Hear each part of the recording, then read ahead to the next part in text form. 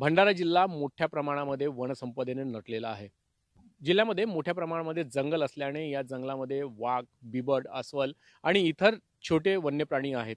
मात्र मागच्या काही वर्षामध्ये जर बघितलं तर या वन्य प्राण्यांचं शिकार केली जात आहे. भंडारा जिल्हा जो आहे हा नैसर्गिक समृद्धी असलेला जिल्हा आहे. आणि भंडारा जिल्ह्यातलं जे जंगल आहे ते भौगोलिकदृष्ट्या अतिशय महत्त्वाचं आहे.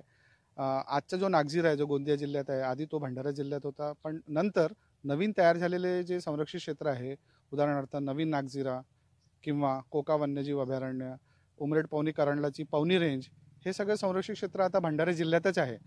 तर एकंदरीत विचार करता या संरक्षित क्षेत्राच्या व्यतिरिक्तही बाकी जे असंरक्षित क्षेत्र आहे ते सुद्धा खूप समृद्ध आहे. आणि या सगळ्या सेंट्रल इंडिया लँडस्केप ज्याला आपण म्हणतो त्याच्यात नागझिराचं महत्त्व आहे कारण नागझिरा कानाशी जोडलेला आहे.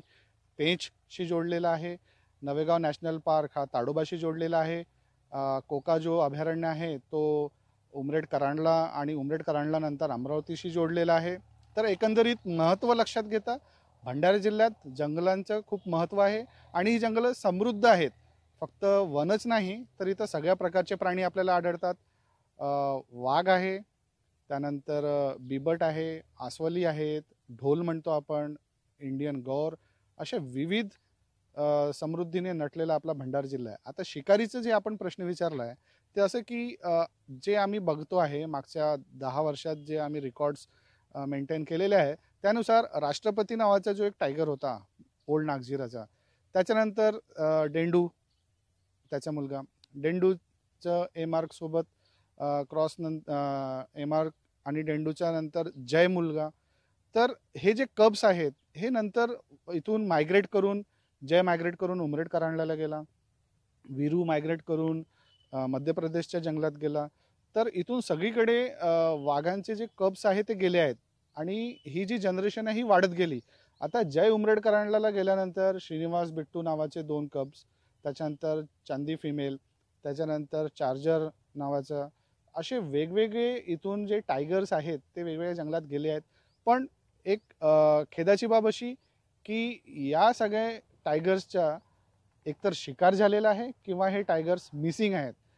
तर त्यामागचं कारण आपल्याला शोधावं लागेल की इतकं जास्त इथं शिकारीचे प्रमाण का बरं आहे? एक आपण याचं एक विचार केला तर एक लक्षात येतं की प्रोटेक्टेड एरिया म्हणजे संरक्षित वनांसोबत असंरक्षित वनही खूप आहेत. अड्याड रेंज असो किंवा लाखांदूरकडलं जंगल असो किंवा गोबरवाई तुमचं बावनथडीचं जंगल असो या जंगलात सुद्धा अनेक वाघ आहेत पण यांचा कोणताही रेकॉर्ड नाही यांना कोणतीही नावे दिलेली नाहीत आणि यांना ट्रॅकिंग जे करतात ते सुद्धा ज्या प्रमाणात व्हायला पाहिजे ते होत नाही. तर संरक्षित ज्या वनांसोबत असंरक्षित वनातूनही आपले वाघ आणि इतर जनावर यांचे शिकार होते. वाघाची शिकार ही तर पैशासाठी होते हे सगळ्यांना माहिती आहे. सांबर सांबराचे शिकार हे लोक स्वतःच्या चवीसाठी करतात. गावात शिकार येते मग ते गावात पोलीस पाटील असो किंवा वन विभागाचे कर्मचारी असो कुणीच त्याच्यावर काही माहिती दुसऱ्यांना द्यायला तयार होत नाही. पण घोरपड असो किंवा खवल्या मांजर असो किंवा अस्वल असो यांची जी शिकार आहे ती खाण्यापेक्षा अंधश्रद्धेमुळे जास्त होते. तर अंधश्रद्धा हा एक खूप मोठं कारण आहे भंडारा जिल्ह्यात या शिकारी मागचा. एकंदरीत अठरा वाघांची शिकार झालेली आहे आमच्या रेकॉर्डनुसार मग त्याच्यात राष्ट्रपती आहे डेंडू आहे जय आहे श्रीनिवास बिट्टू आहे चार्जर आहे चांदी आहे काही टायगर्स मायग्रेट झाले त्यांचे रेकॉर्ड आहेत पण बाकीचे नाही आहे म्हणजे एक तर ते मिसिंग आहे किंवा त्यांची शिकार झालेली आहे. आणि एकंदरीत अन्नसाखीचं आपण जे बोललो आहे त्यात मॅन ॲनिमल कॉन्फ्लिक्ट जो आहे जे प्रे बेस जर कमी झाला जर हे तृणभक्षी प्राणी कमी झाले तर वाघ कुणावर जगेल? बिबट कुणावर जगेल? मग हे सगळे गावात येतील. मग मनुष्य आणि प्राणी संघर्ष वाढत जाईल. आणि याच्यामुळे एकंदरीत जो काही समतोल राखलेला गेला होता निसर्गाचा तो समतोल बिघडेल आणि तो समतोल बिघडल्यानंतर खूप कठीण होणार आहे आपल्या सगळ्यांसाठी हे जगणं. म्हणून ह्या सगळ्या शिकारींची माहिती देणे शिकार न होऊ देणे या सगळ्यांसाठी आज आपल्याला खूप मोठे प्रयत्न करायची गरज आहे. कोका अभयारण्य दोन हजार तेराला स्थापन झालेलं आहे. दोन हजार तेरापासून कोका अभयारण्याच्या क्षेत्रामध्ये एक चितळ शिकारची घटना झालेली आहे. एक जिवंत खवले मांजर घेऊन जाण्याचा प्रकार झालेला आहे. आणि दोन वर्षापूर्वी रानडुकर शिकारीचं प्रकरण झालेलं आहे. या प्रकरणाव्यतिरिक्त एखाद दुसरं चितळ शिकारचं प्रकरण किंवा रानडुकरचं शिकार प्रस प्रकरण झालेलं आम्हाला आढळून आले पण आरोपी काय आढळून आले नव्हते.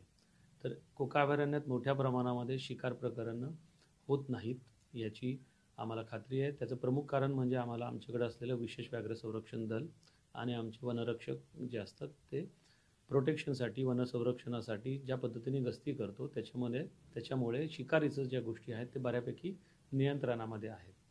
राखीव वन्यजीव अभयारण्याच्या ज्या अधिकाऱ्यांना आम्ही विचारलं तर त्यांनी सांगितलं की काही प्रमाणामध्ये इथे वन्य प्राण्यांची शिकार होत आहे तर प्रादेशिक जे वन विभागाचे उपवन संरक्षण अधिकारी जे आहेत त्यांना विचारले असता मागच्या तीन वर्षामध्ये त्यांच्याकडे रानडुकराच्या शिकाऱ्याव्यतिरिक्त कुठलीही शिकार झाली नाही असं ते सांगतायत. एवढंच नाही तर या जिल्ह्यामध्ये कुठल्याच मांस खाण्यासाठी शिकार होत आहेत ना असंही ते सांगतायत. मात्र सत्य परिस्थिती काहीशी वेगळी आहे. मोठ्या प्रमाणामध्ये रानडुक्कर हरण किंवा चितड यांची शिकार होते. ते खाण्यासाठी होते आणि काही प्रमाणात अंधश्रद्धेसाठी होते हेही तेवढंच खरं आहे. वन्य पा वन्यजीव प्राण्यांची शिकार करणं ही खरंच निसर्गाची हानी आहे. हा निसर्गाचा समतोल राखण्यासाठी लोकांनी वन्य प्राण्यांची शिकार करू नये आणि वन खात्यांनी त्याच्या शिकारी थांबवण्यासाठी योग्य ती पावले उचलावीत. Dipendra Goswami E T V Bharat Bhandara.